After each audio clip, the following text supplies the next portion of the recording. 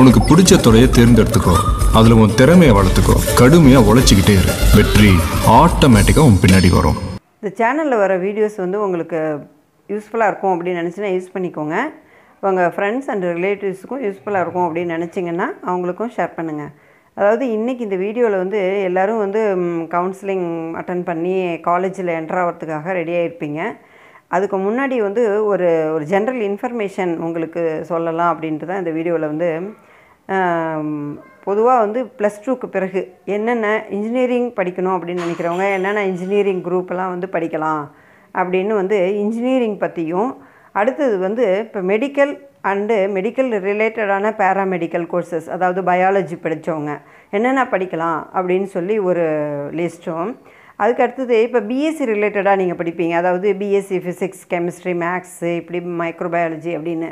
அதை பற்றி ஒரு ஒரு குரூப் லிஸ்ட்டும் வந்து உங்களுக்கு. அப்புறம் மேனேஜ்மெண்ட் ரிலேட்டடாக என்ன படிக்கலாம்? அடுத்தது வந்து எனி குரூப் எடுத்திருந்தாலுமே என்னென்ன படிக்கலாம்? அப்படின்னு தான் வந்து இந்த வீடியோவில் வந்து உங்களுக்கு ஸ்க்ரீனில் தான் நான் சொல்லியிருக்க போகிறேன் அதை ஒரு கிளான்ஸ் வந்து நீங்கள் பார்த்துக்கிட்டு நீங்கள் கவுன்சிலிங் போய் உங்களை ஒரு எதனா குரூப் உங்களுக்கு பிடிச்சிருக்கும் அப்படின்னு சொல்லி ஒவ்வொரு குரூப்பை பற்றியும் டீப்பாக பாருங்கள் அது ரிலேட்டடாக உங்களுக்கு சில வீடியோஸ் வந்து இந்த வீடியோவிலே வந்து டீட்டெயிலாக இருக்கும். இப்போ ஃபிசிக்ஸ்னால் அதை பற்றி டீட்டெயில் இருக்குது மேக்ஸ்னால் அதை பற்றி டீட்டெயில் இருக்குது இப்போ பயோ இன்ஃபர்மேட்டிக்ஸ் அப்படின்னாக்கா அதை பற்றி பயோ டெக்னாலஜி இந்த மாதிரிலாம் சில குரூப்பை பற்றி இருக்கும். அதை பற்றி வேணாலும் டீட்டெயிலாக நீங்கள் தெரிஞ்சுக்கோங்க ப்ளேலிஸ்ட்டில் போய். அப்படி மற்ற குரூப்லாம் வந்து நீங்கள் ஜென்ரலாக தெரிஞ்சுக்கிட்டு அதுக்கப்புறம் நீங்கள் எடுத்திங்கன்னா உங்களுக்கும் ஒரு இன்ட்ரெஸ்ட்டாக இருக்கும். அதுக்காக தான் வந்து இந்த வீடியோவில் வந்து ஒன்லி ப்ளஸ் டூக்கு பிறகு எப்படி இப்படிலாம் காமர்ஸ் ஸ்டூடெண்ட் முத கொண்டு எப்படி இப்படிலாம் நீங்கள் வந்து குரூப் எடுத்தால் பெட்டராக இருக்கும் அப்படின்னு இந்த வீடியோவில் வந்து சொல்லியிருக்கேன் ஸ்க்ரீனில் ஒரு தடவை நீங்கள் பார்த்துக்கிட்டு அதுக்கப்புறமா கவுன்சிலிங் அட்டன் பண்ணுங்கள்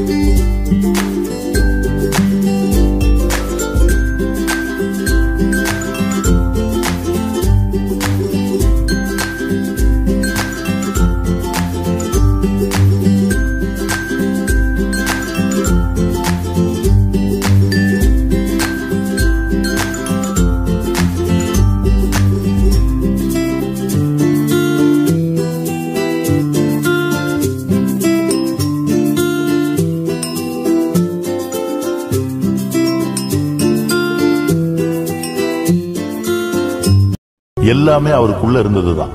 அதை வெளியே கொண்டு வந்த கருவி மட்டும்தான் நான். மகிழ்ச்சி. என் அழைப்பை ஏற்று இங்கே வந்த மாமனிதர்களுக்கு என்னுடைய நன்றி.